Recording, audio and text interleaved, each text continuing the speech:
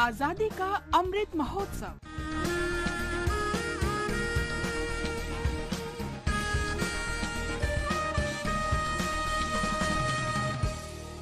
आज़ादी का सफ़र आकाशवाणी समाचार के साथ एक राष्ट्र का उदय।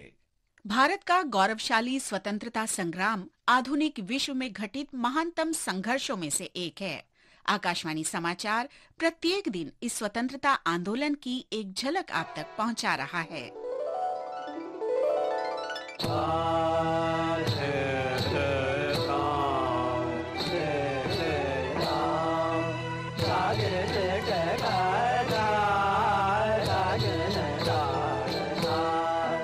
दस जनवरी 1616 को इंग्लैंड के पहले आधिकारिक राजदूत टॉमस रो अजमेर में मुगल बादशाह जहांगीर के दरबार में आए। हालाँकि बादशाह जहांगीर के साथ उनकी चार वर्ष की लंबी बातचीत सफल नहीं हो सकी, लेकिन इसने भारतीय उपमहाद्वीप में ब्रिटेन की आर्थिक और राजनीतिक रुचि की शुरुआत कर दी।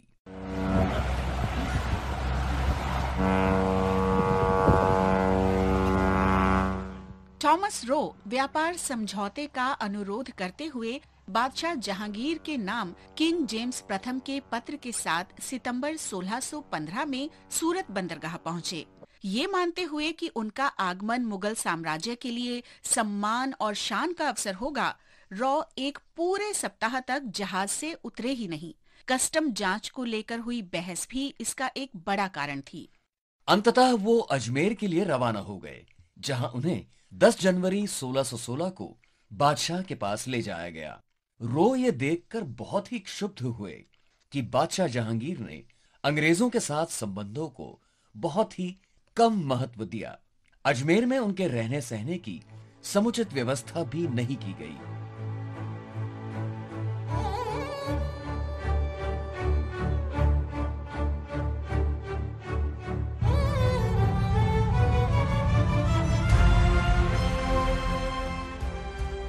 रॉ मुगल साम्राज्य में 17 फरवरी 1619 तक रहे। इस दौरान उन्होंने मुगल अधिकारियों में इंग्लैंड की प्रतिष्ठा बढ़ाने और स्थायी व्यापार की अनुमति के लिए शाही फरमान हासिल करने की भरसक कोशिश की, लेकिन उन्हें 1619 में व्यापार समझौते के बिना ही इंग्लैंड लौटना पड़ा। सपना सर की थारी ओ सपना सर की थारी। जावे गो जमारो रे।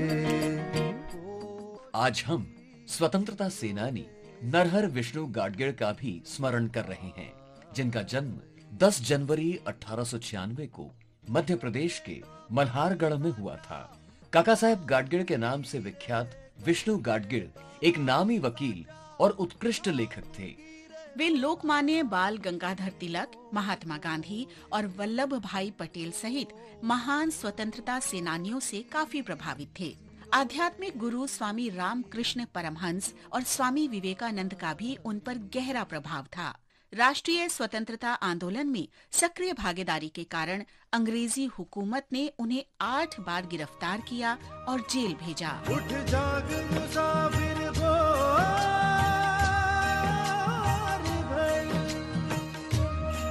गाडगिल कानून की डिग्री प्राप्त करने के तुरंत बाद इंडियन नेशनल कांग्रेस में शामिल हो गए। 1920 में वो पूना जिला कांग्रेस समिति के सचिव बनाए गए। बाद में वे महाराष्ट्र प्रदेश कांग्रेस समिति के अध्यक्ष बने।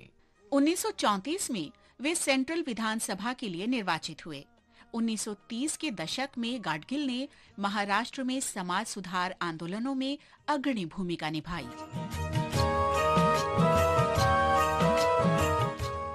आज़ादी के बाद गाडगिल देश के पहले केंद्रीय मंत्रिमंडल में मंत्री बनाए गए।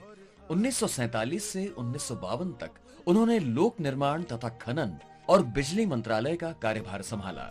1947 के भारत पाकिस्तान युद्ध के बाद जम्मू होते हुए पठानकोट से श्रीनगर तक सैन्य क्षमता सड़क निर्माण परियोजना शुरू करने का श्रेय उनके नाम है। इसका उद्देश्य इस क्षेत्र में भारत की पकड़ मज़बूत करना था। कारगिल ने भाखड़ा, कोयना और हीराकुड बाँध परियोजना सहित अनेक महत्वपूर्ण विकास परियोजनाएँ भी शुरू की। वे पंजाब के राज्यपाल भी रहे। गाडगिल सार्वजनिक सभा पुणे और महाराष्ट्र युवा लीग बम्बई सहित अनेक सार्वजनिक संघों और संस्थाओं से जुड़े रहे। वो एक सशक्त लेखक थे। उन्होंने राजनीति, अर्थशास्त्र, विधि, इतिहास और वाक कला पर अनेक पुस्तकें और लेख लिखे। उनकी महत्वपूर्ण पुस्तकों में पथिक और राज्य शास्त्र विचार शामिल हैं। मराठी साहित्य में उत्कृष्ट योगदान के लिए उन्हें 1962 में मराठी साहित्य सम्मेलन का अध्यक्ष बनाया गया। 12 जनवरी 1966 को उनका निधन हुआ। वे जीवन पर्यंत जनहित के लिए समर्पित रहे। और अब आकाशवाणी समाचार के साथ आज़ादी का सफ़र की ये कड़ी संपन्न होती है। कल फिर मिलेंगे अगली कड़ी के साथ।